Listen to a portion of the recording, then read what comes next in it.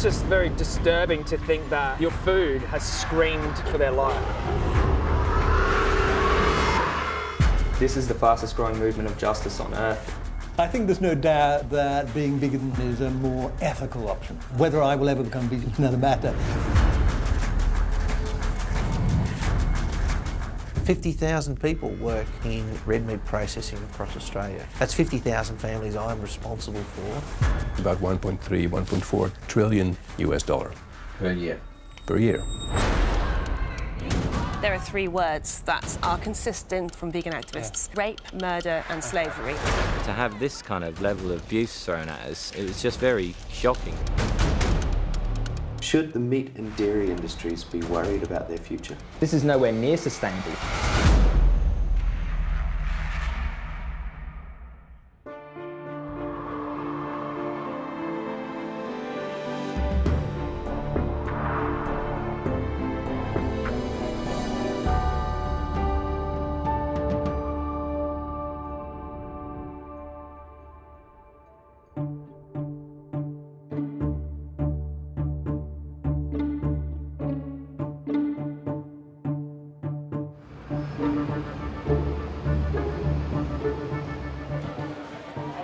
So everywhere you look, animal body parts on top of food. My name's Joey Armstrong, but my internet name is Joey Carbstrong, and I'm a social media personality who's also an animal liberation activist. Veganism for me is living a, a lifestyle which excludes as far as you practically can the use and abuse of animals. There's a common misconception that people think it's about diet, the benefits are less heart disease, less cancer, less diabetes, better for the environment. But that shouldn't be the reason we go vegan. Animals are not willing participants in any of this. They're being chopped up into pieces and served to us as consumers. What I want consumers to understand is that they are the most key player. Without their money, these industries do not exist. This is my life's work. I don't think I'll be doing anything else until this is abolished completely. A dead bird, minced up body parts.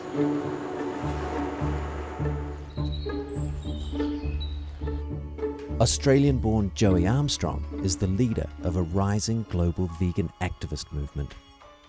He and his partner Laura are full-time agitators with thousands of supporters.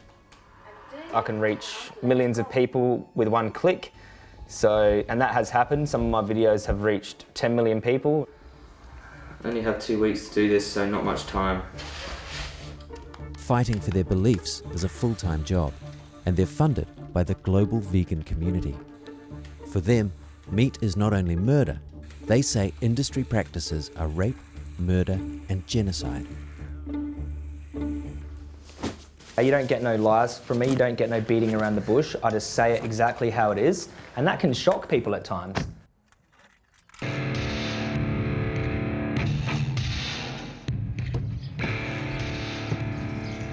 Dairy cows are sexually violated.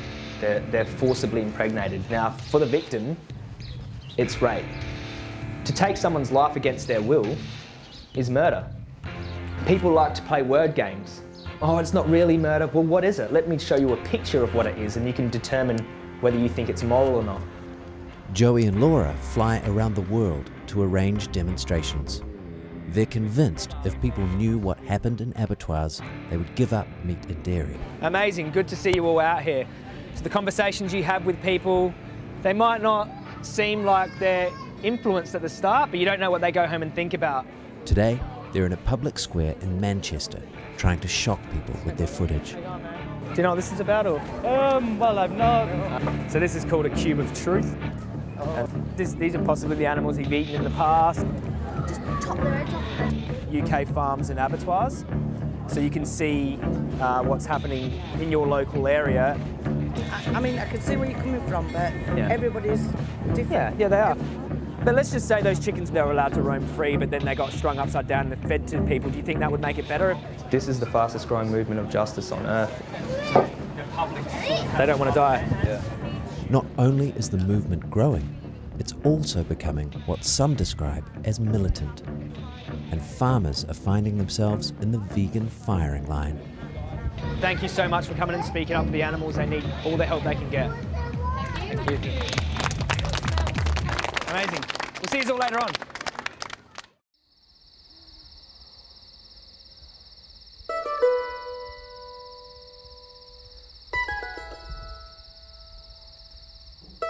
Um, I'm the um, third uh, member of the family to become a dairy farmer. So my grandfather was a, a dairy farmer, my father was as well, still is. Um, and we've been farming for around 80 years at Fen Farm Dairy. You got to be slightly crazy to get up at four in the morning in the pitch black during the winter months. Morning, ladies.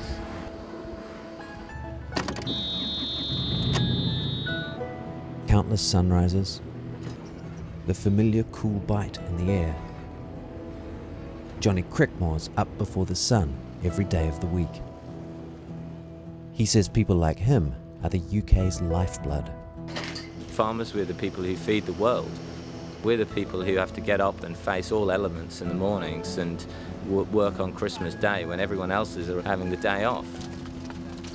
The farm is, is something, it is very special to me and the work that I've put into that place in my lifetime and uh, you know I hope that one day that what I've done is, can be passed down to our children.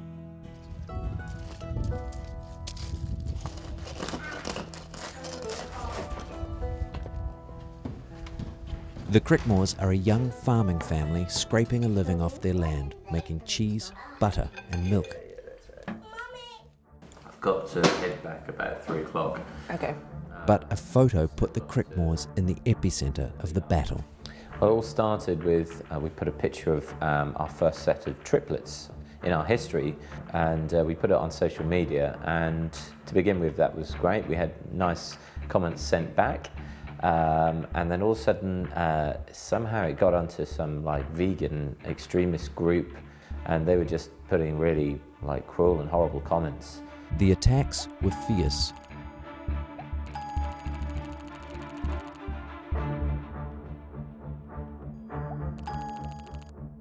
They centre around the common practice of separating young calves from their mothers. With the first day the calf is born, the calf is taken away from the mother within a few hours, but the calf then he doesn't go and like be like tortured in some pen. He goes to live with his mates in a pen like all of these fellas are, where you know they look after one another, and we go round and they look at us as their mother. The photo sparked accusations the Crickmores never imagined would be aimed at them.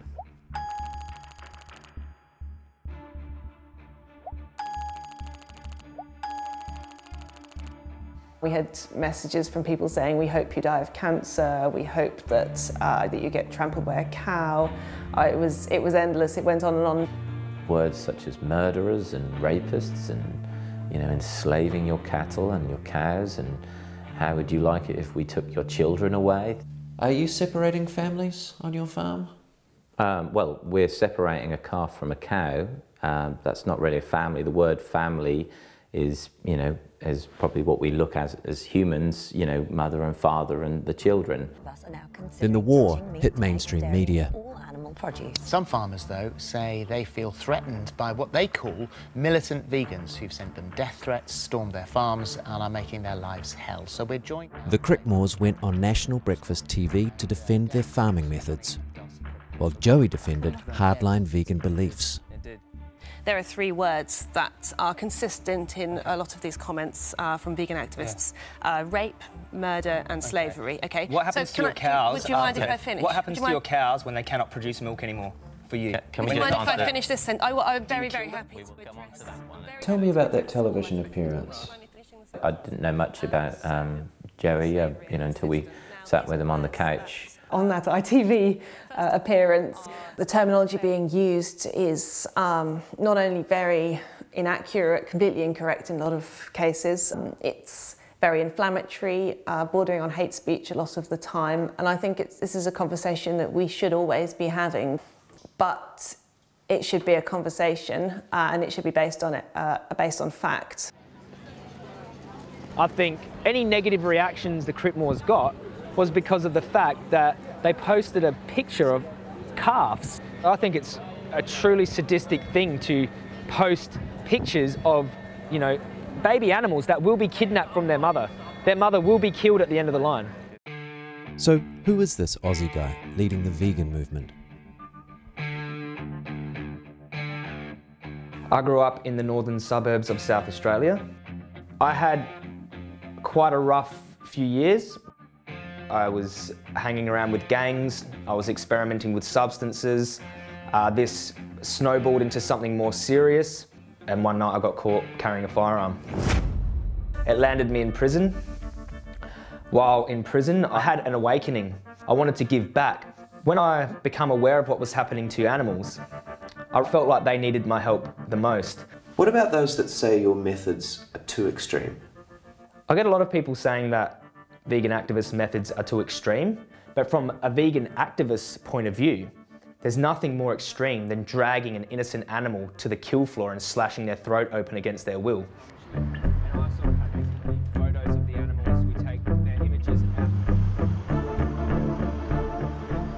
As well as reaching out to the public, he also leads what he calls vigils.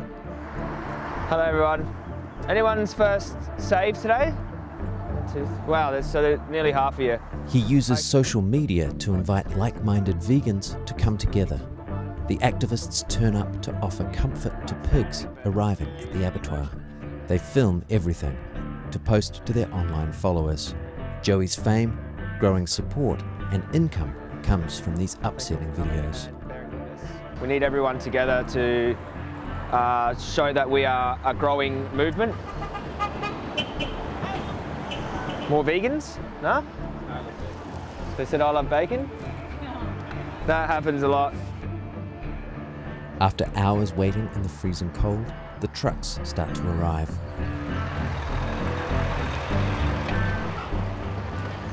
And the protesters aim a dozen cameras towards the pigs. It's alright, sweetie. Hey, it's okay. As each truck pulls up to the slaughterhouse gate, the activists try to soothe the pigs. This is the bacon that you're eating, this is the sausages that you're eating. We just wish that anybody who eats animal flesh will come and look the animals in the eyes and witness this for themselves. People, uh, oh, sorry, there's another truck now.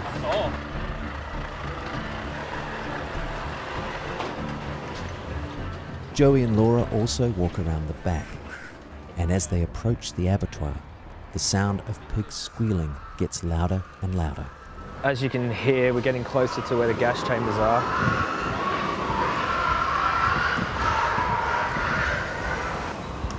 So you can hear the machinery going. And the pigs thrash and scream in their last moments. Listen to that. Joey knows it's confronting moments like this that make the best social media content. The word Holocaust means destruction or slaughter on a mass scale. And if this isn't a Holocaust, what is it? They're begging for mercy in there and no one's listening. Vegans are listening though. There's still debate about whether animals scream in fear and pain at abattoirs, but it's a sound that helps Joey recruit his army of vegan activists.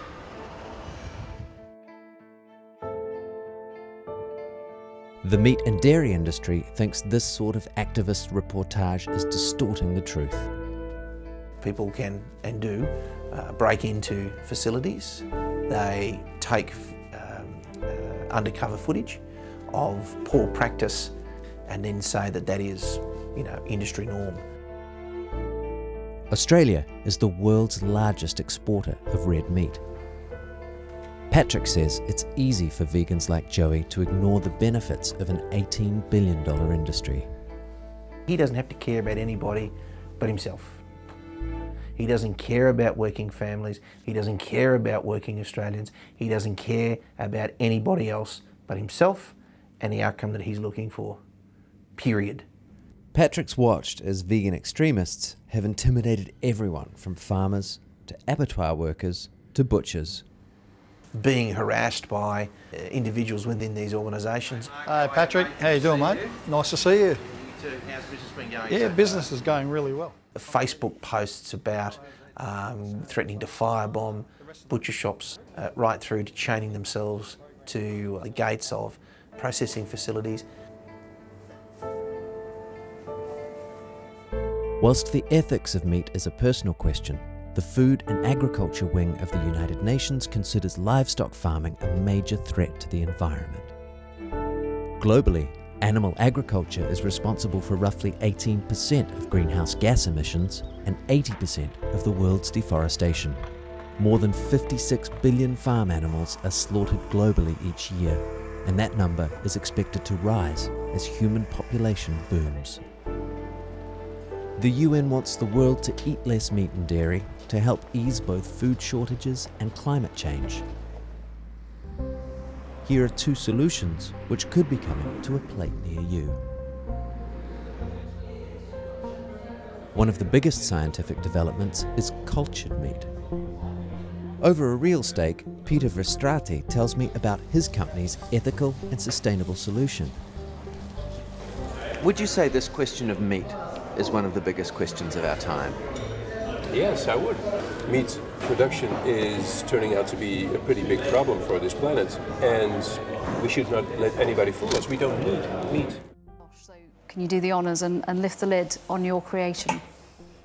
Cultured meat is, um, well, it's meat made from the same cells that make the muscles of the animals that we eat, only grown in a bioreactor, with the use of tissue engineering. And it differs from meat substitutes in that it is meat. It's been five years since Mosa Meat unveiled its product on television, and it's still not ready for the market. Growing meat fibre by fibre takes a lot of time and money, but they have an unlikely ally. Vegans and vegetarians are generally very positive about what we do. Actually, to a point where the first group of investors in our company are a syndicate of animal welfare driven investors. So uh, they, they really put their money where their mouth is, you might say. Another alternative way to get protein could be edible insects. They're healthy and are commercially farmed here in suburban London by Lawrence Mohan and his family. Some they sell to restaurants around the UK, and some they eat. This is what dinner could look like in 2025 for all of us here. Yeah. Here we've got the Zophobas morio, which are like super mealworms. They're really massive. They're a lot bigger, uh, and they need a lot more food. So it doesn't look like there are many here, but Tiziana is Lawrence's mum. Originally from Italy, she's been developing recipes using insects which she says are as delicious as the meat versions. So what's what's actually on the menu today? Okay, today as a starter we're gonna have bruschetta uh, with mealworms as well as uh, some fritters with seaweed and uh, the Foba worms uh, wrapped in pastry.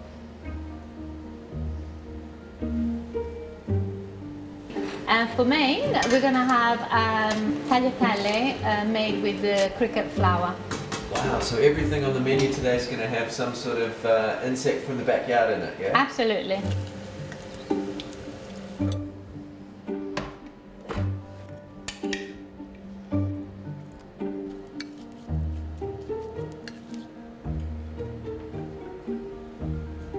Right, wow. so hungry now. wow, yeah, look at this.